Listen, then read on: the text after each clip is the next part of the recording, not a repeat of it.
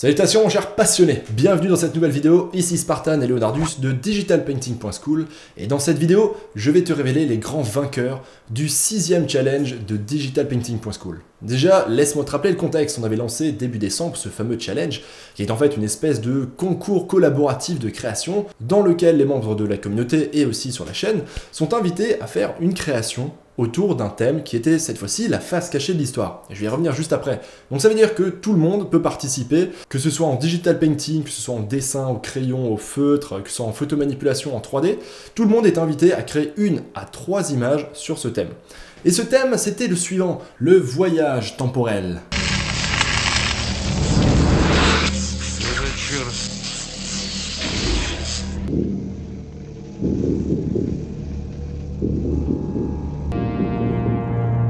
Ou plutôt réécrire l'histoire telle qu'on nous l'aurait cachée. Ouais, je sais, ouais. D'ailleurs, je ne compte pas le nombre de fois où Trump est ressorti dans les créations des membres.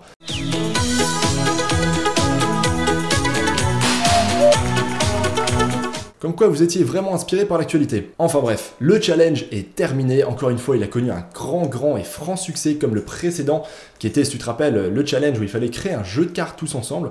Donc cette fois-ci, encore une fois, il y a eu énormément de participation, il y en a eu presque 200, sachant que le thème de ce challenge était quand même, je pense, un petit peu plus difficile, dans le sens où dans le précédent challenge, on pouvait à la fois euh, créer ce qu'on voulait, c'est-à-dire simplement juste un personnage, ou juste un environnement. Autant dans ce challenge, il fallait quand même essayer de raconter une histoire, de faire comprendre un événement qui a été revisité. Donc lorsqu'on regarde la plupart des créations, il faut quand même faire comprendre de quoi il s'agit et faire comprendre ce qui s'est vraiment passé. Donc ce sont des images assez complexes qui ont été créées et il y a eu un paquet de super concepts, des super idées sur toutes les illustrations. Comme toujours, il y a vraiment la majorité des images sur lesquelles on sent que les membres ont vraiment donné le meilleur d'eux-mêmes en réfléchissant à un concept euh, original, en passant du temps dans leur création et sincèrement, ça fait vraiment super plaisir à voir. J'espère justement que ça a permis vraiment à tous les membres de progresser car c'est quand même ça le but premier.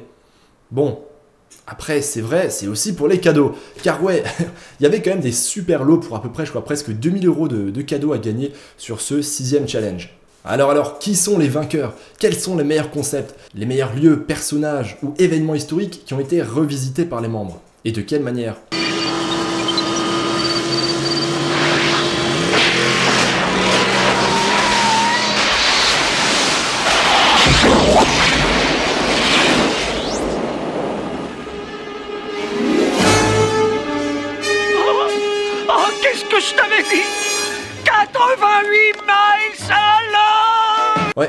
Comme le cinéma des années 80, on peut dire que le voyage temporel vous a vraiment inspiré. Car clairement, la qualité était au rendez-vous, et heureusement qu'on a eu la chance d'avoir Bastien Grivet qui nous a rejoint dans le jury pour sélectionner les vainqueurs. Bon, Bastien Grivet, si tu te rappelles, c'est ce bonhomme-là. Bah, je m'appelle Bastien Grivet, voilà.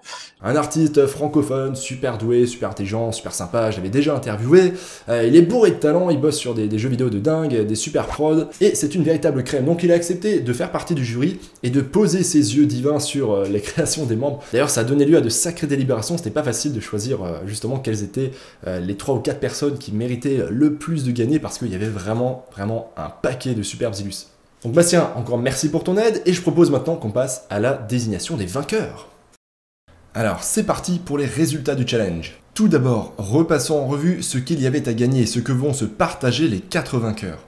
Grâce à nos sponsors, il y avait une tablette à écran Uyon GT156 HDV2 à gagner, mais également la partie 1 ou 2 du programme indispensable au choix, ainsi qu'une sacoche et une trousse pour artiste Etcher, on a ensuite trois accès à plus de 40 heures de vidéos des masterclass, donc ça, ça a une valeur inestimable. Il y avait ensuite une remise sur digitalpainting.school, des figurines Bodycoon, des abonnements au magazine Be Creative, des tutoriels d'Olivier Cracus, des formations, des badges à débloquer, etc. Donc des lots plutôt sympas d'une valeur au total d'environ 2000 euros. Quand même. Allez, on passe maintenant au vainqueur et on va commencer avec le troisième vainqueur de ce challenge.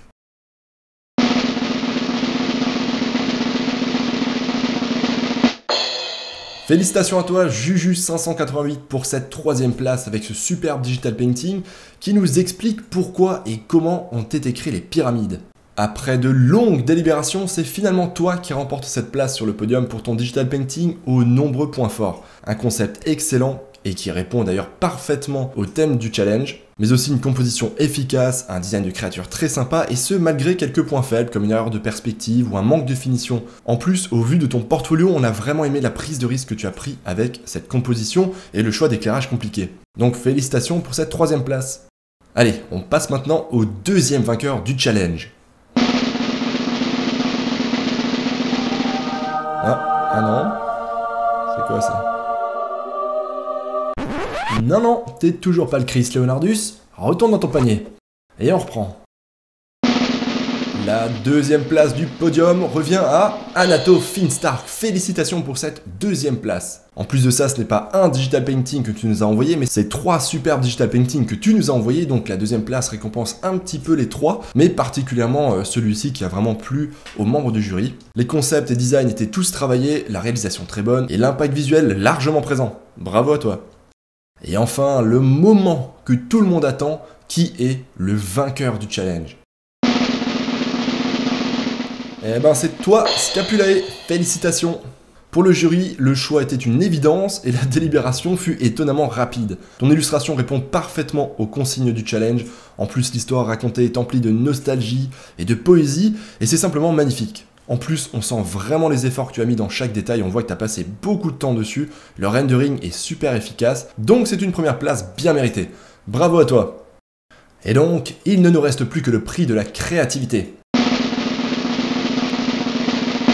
Et celui-ci revient à Kokoro. Le choix du prix de la créativité est toujours difficile car les excellents concepts et la créativité ne manquent pas. Mais pour une fois, il a été plutôt rapide car ton digital painting était dans la sélection de chacun des jurys. On a vraiment aimé sa simplicité, son concept amusant et terriblement efficace. Et bien sûr son humour. Bravo l'artiste J'en profite pour réexpliquer ce qu'est le prix de la créativité. Il s'agit d'un prix qui dans chaque challenge récompense la créativité, les idées et les efforts qui ont été mis dans une image, en tenant pas du tout compte du niveau artistique de l'artiste. Donc même un débutant complet, quelqu'un qui ne sait pas du tout dessiner, pourrait très bien gagner ce prix. Et cette fois-ci, Kokoro, c'est toi qui remportes la palme pour ton concept. Et tu remportes notamment des cours du programme indispensable pour justement faire passer tes idées au niveau artistique supérieur. Donc félicitations à toi pour ce joli cadeau.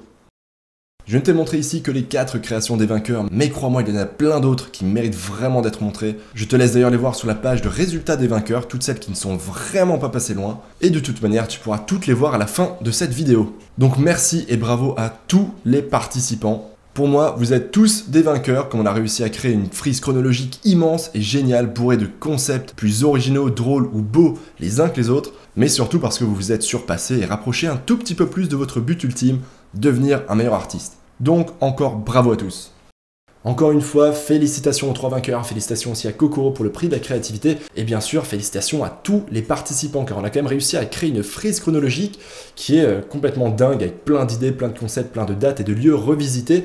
De toute manière, je vais mettre ça juste à la fin de la vidéo. D'ailleurs, à ce sujet, j'en ai pas parlé, mais euh, ce challenge était justement l'occasion d'avoir une espèce de projet collaboratif qui était de reprendre toutes les participations des membres et de les placer ensemble dans l'ordre de date dans une nouvelle frise chronologique qui revisite justement l'histoire. Donc si jamais tu veux savoir ce qui s'est vraiment passé dans le passé ce qui va se passer dans le futur, et que tu fais confiance aux membres de digitalpainting.school bien sûr, je t'invite à télécharger le PDF avec toutes les créations, avec cette frise entière qui reprend également les vainqueurs, un petit mot de remerciement, etc. D'ailleurs pour te faire gagner du temps, je vais te mettre directement le lien pour télécharger le PDF dans la description de la vidéo. Encore une fois, je t'invite fortement à le télécharger, tu verras qu'il y a vraiment quelques petites pépites. Là dans cette vidéo, tu n'as vu euh, que 4 créations, celle des vainqueurs, mais il y en a un paquet qui était à peine derrière vraiment de ça et puis avec des idées absolument hilarantes, super bonnes, super intelligentes. Les remerciements de Spartan. Ah, j'adore ce jingle. Bon, cette fois-ci, je vous la fais vraiment brève. Je voulais vraiment remercier tout le monde encore une fois. Donc, à commencer bien sûr par les membres qui ont vraiment pris de leur temps, de leur passion, de leur énergie euh, pour faire des créations qui sont euh, vraiment aussi cool que ça. Autant la majorité, même la grande majorité des créations, on sent vraiment que vous avez réfléchi longtemps, que vous avez euh, mis de la sueur dedans, et j'espère vraiment que ça vous a permis de progresser. Donc merci à vous d'avoir participé, de contribuer à ce challenge et tout simplement de contribuer à DP School. Ensuite, merci à toute l'équipe qui a contribué à ce challenge, que ce soit par les échanges d'idées, que ce soit directement dans la réalisation. Euh, merci en particulier à Ganakel et Olivier pour euh, la création de la frise qui a été vraiment très longue. Évidemment, merci également aux membres du jury qui nous ont filé un coup de main. Un petit merci encore particulier à, Bastien Grivet qui a accepté de, de, faire partie du jeu. Merci à Johan pour son aide, merci à ma mère de m'avoir mis au monde. Merci aux inventeurs de la tablette graphique, merci à ceux qui ont inventé la perspective, merci à ceux qui... Je vais trop loin. Je finis avec un petit merci un peu particulier à ceux qui m'ont un petit peu fait rire, parce que comme toujours, hein, Leonardus, tu as su inspirer les membres, hein, t'es vraiment une muse, pas que pour moi apparemment, puisqu'il y a quelques membres qui forcément se sont inspirés de ta prestance pour revisiter l'histoire. Et oui, les livres d'histoire n'ont pas parlé des Léonazis en 1939, ou encore de l'école de danse de Leonardus en 2016. Grand moment historique bien sûr. Voilà, je trouve ça super cool. Et d'ailleurs ça, ça n'a aucun rapport avec le challenge, hein, mais euh, je voulais quand même montrer ce digital painting qui a été fait pour euh, l'exercice en cours sur euh, digitalpainting.school, dans lequel il faut inventer une petite amie, ou en tout cas l'âme sœur de Leonardus. Et c'est pas une petite amie qui a été faite, c'est moi. Voilà. Là. Heureusement que j'ai quand même beaucoup d'autodérision, ça m'a quand même fait marrer, je voulais la partager, je pense que c'est Leonardus évidemment qui va être le plus ravi. Et je ferme cette parenthèse. Ça fait maintenant deux ans que cette communauté m'anime jour après jour, qu'elle m'impressionne, qu'elle me surprend. Donc merci à tous pour ce euh, sixième challenge. Je donne rendez-vous à tout le monde dans le septième challenge qui commencera début avril, je crois. Donc le, prochain challenge sera sûrement encore plus gros, encore plus cool avec des lots encore plus sympas et un nouveau thème qui est déjà en pleine maturation. J'en dis pas plus, j'espère que ce challenge vous a plu, que le prochain vous motivera encore plus et je t'invite encore une fois à télécharger le PDF pour retrouver toutes les créations dedans. Et comme d'habitude, si l'initiative t'a plu, fais-le moi savoir, fais-moi aussi savoir en commentaire ce que tu as pensé des vainqueurs justement et même si tu as des idées pour le prochain challenge, tiens. Bon, chers passionnés, on se donne rendez-vous dans la prochaine vidéo. Ciao et juste avant de te montrer l'intégralité des participations, je tiens encore à remercier tous les sponsors. Ces derniers ont été encore une fois plus que généreux, donc merci à Uyon, merci à Etcher, merci à Oracom, merci à Olivier Cracus, et merci à Yamag avec ses masterclass de 2018 dont je vais très bientôt reparler. Maintenant, place à notre frise chronologique revisitée.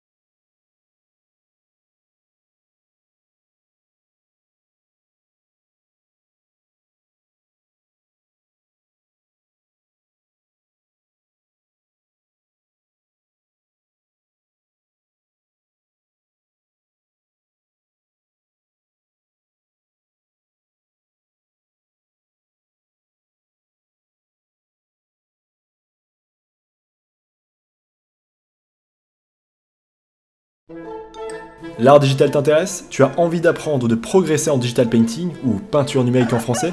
Je t'invite à aller sur digitalpainting.school.